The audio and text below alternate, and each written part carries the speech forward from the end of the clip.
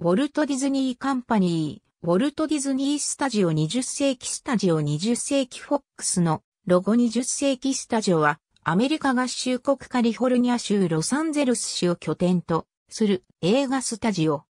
2019年より、ウォルト・ディズニー・スタジオの子会社となり、20世紀フォックスから社名を変更した。1934年12月28日、フォックスフィルムコーポレーションと20世紀ピクチャーズが合併し、20世紀フォックス映画として設立される。戦前はシャーリー・テンプル主演作やジョン・フォード監督、戦後はマリリン・モンローの映画により知られる。1940年代から1950年代にかけては、イブのすべて、我が谷は、緑なりき、紳士協定といったドラマ、社会派作品を制作した。1950年代以降は、ロジャースハマースタインのブロードウェイミュージカルの映画化に取り組み、世界的に有名な王様と私、サウンドオブミュージックを制作。他にも舞台の演出をそのまま映画に取り込んだ南太平洋やオクラホマなどがある。1953年にはワイドスクリーンの一つシネマスコープを開発。これは当時普及してきたテレビに対抗するもので大画面で楽しむという映画の醍醐味を改めて認識させるものとなり、同年の刺激、誠意がその第一作となった。以来ハリウッド映画をはじめとする大作映画はほとんどシネマスコープで撮影されている。しかし、巨額な制作費をつぎ込んで1962年に制作したクレオパトラは工業的に大失敗に終わり、スタジオは倒産の危機に陥る。そこへ20世紀映画の創始者だったダリル・カイザナックが経営陣に戻り、1965年に公開され、空前の大ヒットとなり、アカデミー作品賞を受賞したサウンド・オブ・ミュージック1968年に第一作が公開され以降シリーズ化された猿の惑星が大成功を収め、スタジオの経営は徐々に軌道に戻った。以来 SF 作品とシリーズ作品が好調。1977年からのスター・ウォーズシリーズやエイリアンシリーズ、ダイハードシリーズ、ホーム・アローンシリーズなど大成功を収める。20世紀フォックスは1981年6月8日に7億2000万ドルで投資家のマーク・リッチとマービン・デイビスに売却された。1984年までにリッチは脱税、恐喝、イラン人質事件の際のイランとの違法取引などの容疑で米国連邦検察官に起訴された後、スイスに逃亡していた。リッチの資産は米国当局によって凍結された。1984年、マービン・デイビスは、マーク・リッチの20世紀、フォックス映画会社の50%の持ち分を1億1600万ドルと報じられた非公表の金額で買い取った。デイビスは1985年3月、この持ち分をルパート・マードックのニューズコーポレーションに2億5000万ドルで売却した。その後、デイビスはマードックとのジョン・クルージのテレビ局、メトロメディアを買収するという取引から手を引いた。後にマードックは単独でテレビ局を買収し、後にデイビスの20世紀フォックスの残りの株式を3億2500万ドルで買い取った。1985年以降、20th Century Fox から 20th Century Fox に変更され、ハイフンはひっそりと取り除かれた。1994年、マーベルよりファンタスティックフォート X メンの映画化券を購入。実写映画のシリーズを展開した。1997年にはタイタニックをパラマウント映画と共同制作し、アカデミー賞の11部門を受賞した。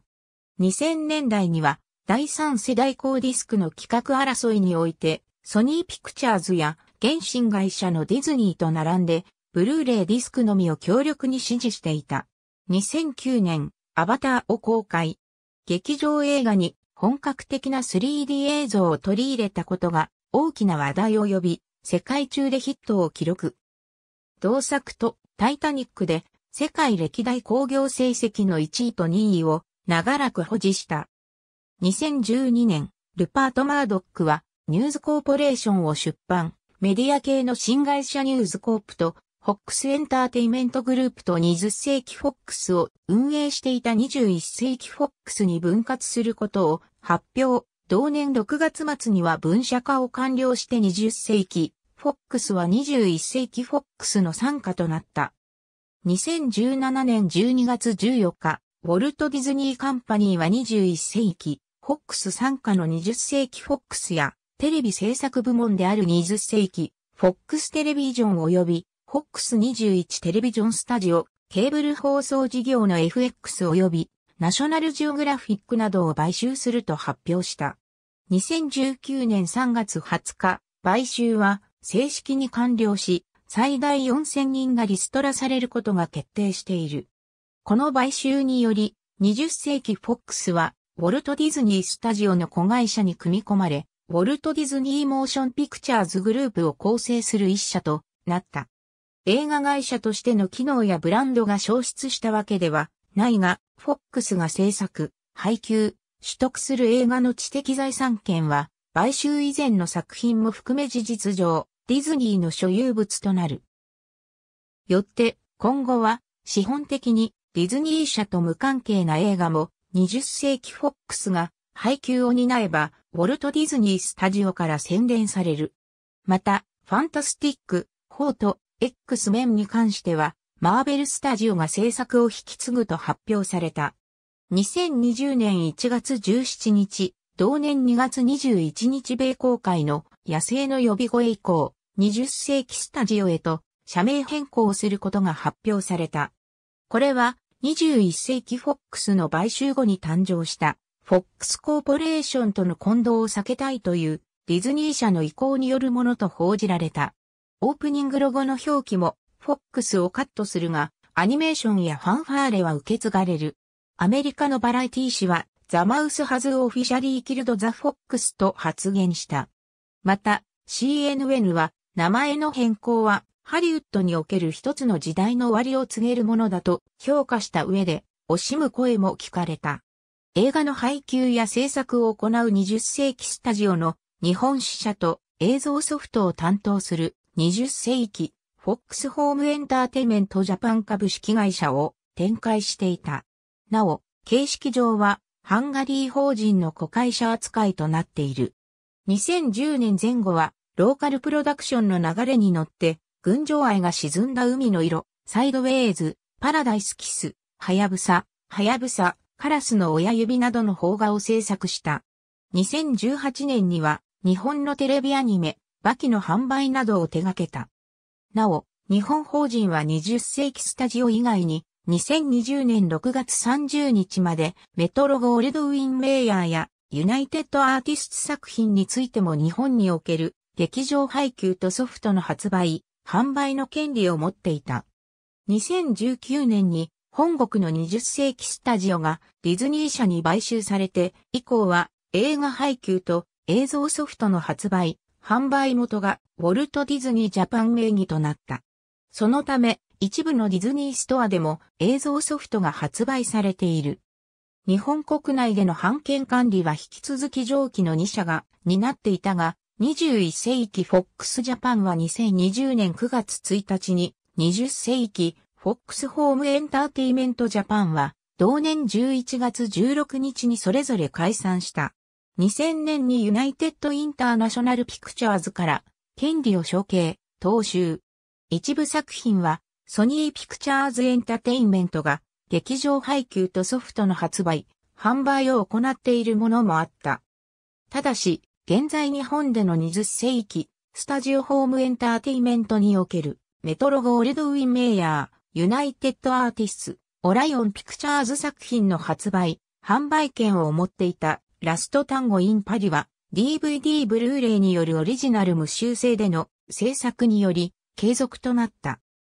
D、アレッサンドロ、アンソニー、スティーブ・アスベルテイクス、オーバートゥエンティースセンチュリースタジオポスト、エマ・ワッツ、バネッサ・モリソン・ネームド、ウォルト・ディズニー・スタジオ・ストリーミング・プロダクション・プレジデント。デッドライン・ハリウッド、2020年4月7日閲覧。